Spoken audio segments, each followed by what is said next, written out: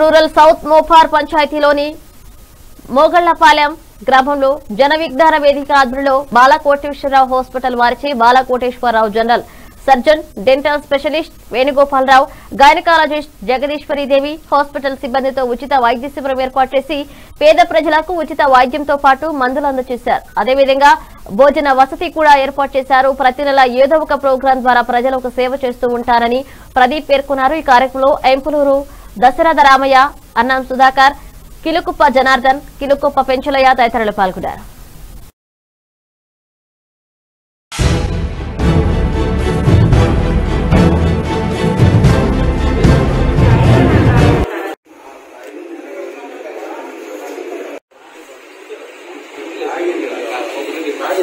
Thank you.